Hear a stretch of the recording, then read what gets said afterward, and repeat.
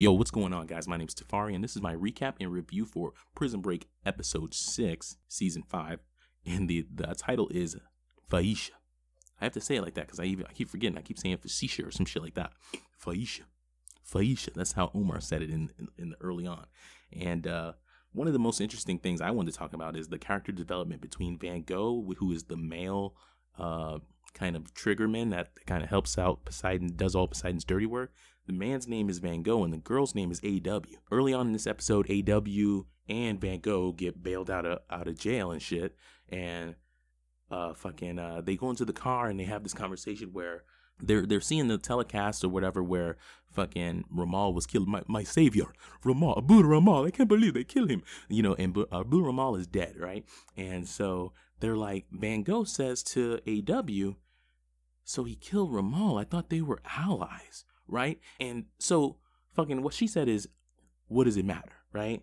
Now we have our, our job is to kill Kaniel Outis, right? And so to me, what that signifies, right? She's telling him pretty much shut the fuck up. You don't ask questions. You know what I mean? We just do what we're ordered to do. And another thing he said is maybe we should ask questions. You know, pretty interesting. Uh, it seems like Van Gogh, he's really moved. I think he was moved by the words of Kellerman a couple episodes back.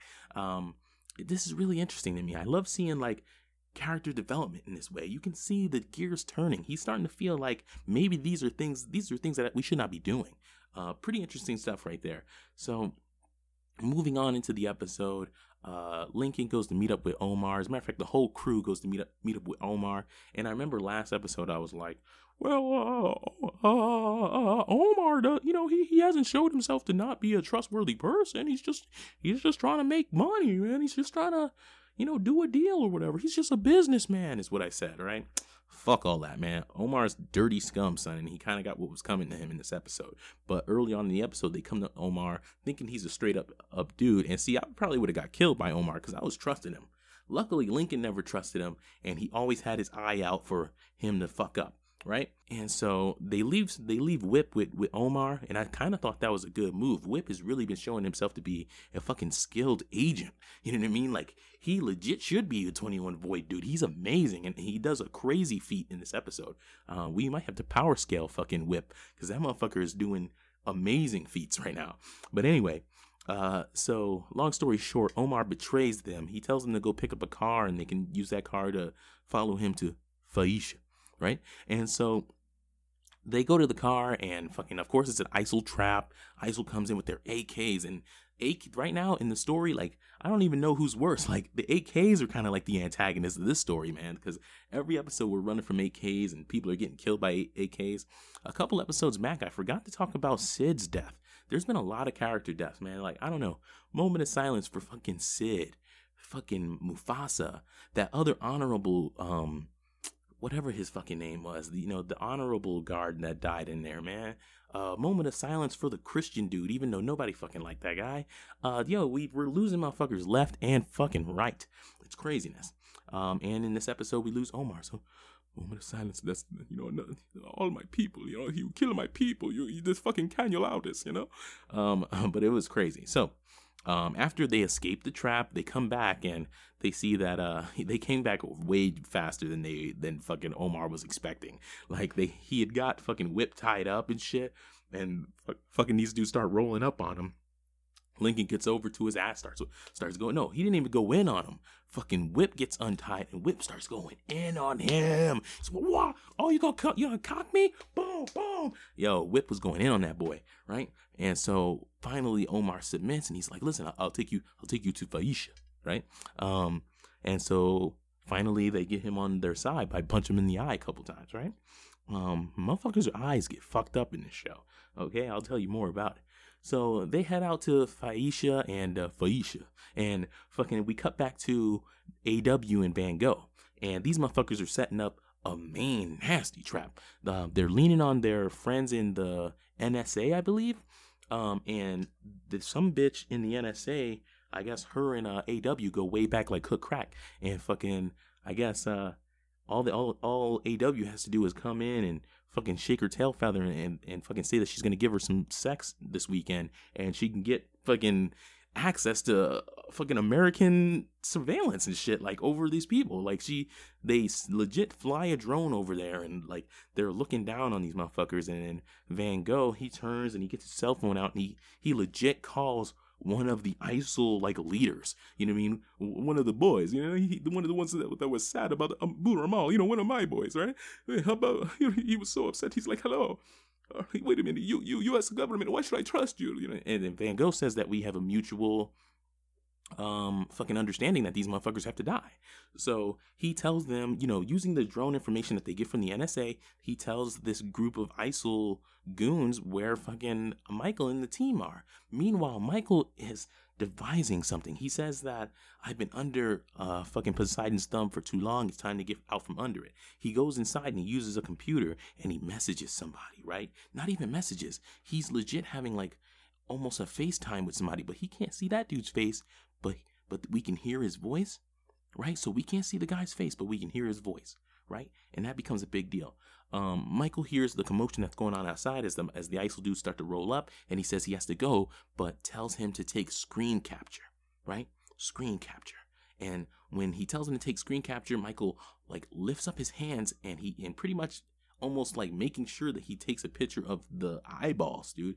Like for episodes now, I've been saying, what the fuck did the eyeballs mean? Right? We don't know. We don't know what the eyeballs mean yet, but we're trying to figure it out uh, maybe there's something in there. Like if you remember in Prison Break episode, I don't even fucking know. Back in the old days, he cut open part of his fucking tattoo, and there was like that pill that can make you convulse, and he gave that to to Lincoln to get him into the infirmary on the day that they were supposed to break out. Obviously, shit didn't go down correctly, but it was a great, great idea. So who knows? Maybe it's something similar. I don't fucking know. They've already broken out, but this breakout is a country breakout. We need to escape the country. We need to get back home. Um, even though I don't know if Michael knows, but there's a war on two fronts right now. So anyway, um, supposedly whatever Michael was doing and communicating with that guy, this is supposed to be a way for him to get out from ISIL, uh, not ISIL, fucking uh, Poseidon's thumb. And meanwhile, uh, Poseidon and the goons, well, not Poseidon, but you know the 21 void dudes they're fucking watching from the drone. They, they see that he's inside they see these dudes are outside and then they see the isil goons roll up on them. Now the woman that wanted the sex from A&W she she's still kind of like a good person right? So she's not really trying to do blackout missions and shit. So she sees these isil goons goons roll up on them and she gets suspicious to the point where she's like, "Listen, you guys got to go. All right, you motherfuckers, you motherfuckers engineered engineered this somehow, right? She got wise quick. I'm surprised they're leaving her alive. I guess they're leaving her alive because A&W has some feelings for her. A&W legit said some shit like, "Well, we're not gonna kill her." You know, even though she kicked him out and pretty much says, "I'll blow the whistle right now if you don't get the fuck out." Um, pretty interesting stuff right there, right? Like some character development. Is there somebody A&W cares about? That that bitch was ruthless. Um, so, in order to escape these ISIL goons, another feat, um, amazing feat by Whip, he fucking pulls the gun out. He's like, he's got like it was uh, Omar's gun and it only had one bullet in it. And I love the line that Omar said. Omar says, like Whip asks Omar, he says, um, why fucking have a gun with one bullet? And he's like, you only need one bullet. What did he say? Wait, wait, let me think, let me think. He says, who carries, no, Whip says, who carries a gun with one bullet? And Omar said, a man who'd rather die than be caught by ISIL and then he immediately gets like shot up by ISIL. Um, so Omar pretty much dies from that encounter. Um, so rest in peace, Omar, dude. Um, but anyway, fucking uh, Whip uses the one bullet to blow up some fucking gas tank that was dumb far away, and it was a fucking pistol. If you played Call of Duty, you know this is like a, an impossible shot right now. And it, he, yo, it was one shot 45 dead. Like, not even, like, not really 45, but mad dudes dead. And if I were to re- rewind time a little bit, before these ISIL dudes went to roll up, fucking Cyclops was there. They had cut Cyclops loose. Cyclops who'd heard the phone call, and he's like, I'm coming, you know, and they're like, no, you're not coming. He touches them, like, you know, fucking, uh, they're mad intimate. They be touching them right in the face and shit. Like, this is not your fight anymore, you know? because they cut him loose from fucking Sid's dead body. Remember, I don't know. Well, I didn't talk about it, but um, fucking they had handcuffed Cyclops to Sid. So Cyclops was following in his own fucking car. Cyclops, yo, you gotta get that man credit. Homie don't fucking quit, bro. He keeps coming back for more, but he ain't come. I don't think he's coming back this time. Um, And uh, so, yeah, Whip uses that one bullet, blows up all these ISIL dudes. The only one who survives is Cyclops, who's a little bit down the road. They see Cy- Cyclops coming, so they get in their Jeeps and they take off. Um, meanwhile, Michael has told this random mystery person to take a screenshot. And I think we actually meet the mystery person at the end of the episode. Some dude dressed up like Elvis living in a fucking mansion. Craziness, right? Um, so anyway, back to present of what's happening right now. So they're pretty much running from fucking uh, Cyclops, but they're leaving a track for him through the desert. They know that um, Phaisha is across the desert, but their map to Faisha is gone. Fucking uh, Omar's dead. So the plan is to fucking allow is to you know fucking fill the one car up with most of the gas and then v off in two different directions so that cyclops has to choose which one. And so michael does this trick to make sure that he's the one that is to distract cyclops right? By telling everybody there's a there's a white pebble in his hand and there's also red pebbles. And whoever gets the white pebble fucking has to be the one to distract Meanwhile, there's no fucking white pebble. He had just planned to fucking be the one always, but he didn't want nobody to feel like, well, man, I'm not gonna allow you to do that, man. I'm not, I'm not gonna let you do that, man. You, you're my, you're my homie, man. You're my lover. Almost said, oh, that's homo, bro. But hey, man, look, look, I, I heard, I heard Wentworth is, is, you know, he's he's gay, and, and like I respect that, man. I'm hyped with it. You know, it's a new world, man. I'm not mad at him. You know what I mean? That's what's up. Anyway, so fucking the plan works. Uh, Cyclops follows Michael through the desert, right? Michael starts to run out of gas. He comes he comes up with a plan to get this dude to get out of his car to check his car. He like puts a rock on the gas pedal and like hides behind a little mountain. And uh while he's hiding behind the, while he's behind the behind the mountain, fucking Cyclops I must have said Omar, but whatever. Cyclops gets out the car. He goes inspects the other car. Fucking, there's nothing in there. Michael jumps into his car and he tries to take off, but it, it was almost like it was stuck in the in the mud or something. There was no mud; it's just sand. But for some reason, he couldn't just take off with it. And so Cyclops notices this. He turns around and he just AK sprays the car up, sprays it. I thought Michael was gonna get hit from this because we saw the previews. We know Michael's supposed to get really badly hurt, um, to the point that Lincoln would say that he's dying. So anyway, that's not what happened though. Fucking uh Michael escapes, no bullets in him at all, and he ends up grabbing a fucking wrench or not a wrench, a screwdriver from the dude's car. Right? This screwdriver is like the main character now. Um like they even focused on it for a second. But anyway, fucking so he hides, fucking uh, Cyclops comes closer, and then they get into this tussle, right? I wanted to call it a fight, but it's more like a tussle. Like fucking Michael he's not that strong, bro. He, like, and this was a great scene because it was character development some more. We don't like we believe Michael's super smart, but it's hard to make it believable that he's an excellent fighter. You know what I mean? And he, was not. He was not an excellent fighter. So it actually all played into the character so much. Um, fucking for a little bit, Cyclops was kind of whooping his ass. Not really whooping his ass, but holding his own. Right? Finally, Michael finds a way to reach for the screwdriver and stab homie in the fucking eye right? The other fucking eye, bro. Now he's legit done. And I don't know if anybody saw my video about the connections between Prison Break and uh, Homer's Odyssey. Yo, that's that's a connection right there. Homie's name is Canio Aldous. Aldous is supposed to be nobody. Fucking Odysseus told the Cyclops that his name was nobody when he and then he stabbed him in the eye later on in the in the story. Um, pretty interesting. Pretty fucking interesting. So left him out in the in the fucking desert with his fucking screw in his eye. But yo, your boy Cyclops wasn't going out like that. He fucking stabbed him with this piece of car or something. I don't know what the fuck it was, but it was dipped in fucking antifreeze, right? He and he stabbed him with it, and I guess that's some type of poison, bro. Like I'm, I did not know that shit. I don't know shit, bro. I don't know shit. So anyway, fucking Michael's poisoned now by himself in the desert. The plan was that he was going to follow Link's tracks. Link was going to leave tracks for him, and eventually, after he lost um, this dude, he would follow the tracks. Now, for some reason, Michael's having a hard time finding these fucking tracks, right? And Lincoln and them were getting lost too. Finally, Ja, once again, he shows his awesome mind, right? Michael was luckily enough was lucky enough to make sure that Ja didn't get high before the trip, so that Ja could legit help out when Michael wasn't around, and he really did. Michael uh Ja came up with this plan to follow the seagulls because he says seagulls have no interest in the desert, but they have interest in the water, right? And so they know that Faisha, Faisha must need must be near the water. So they follow the seagulls. They make it to Faisha, and Phaisha is almost like a fucking paradise compared to the shit that these guys have been through. There's a whole bunch of kids and nice people, and it just feels safe. You know, that's it's so interesting. You know, fucking 200 miles later, and there's safety.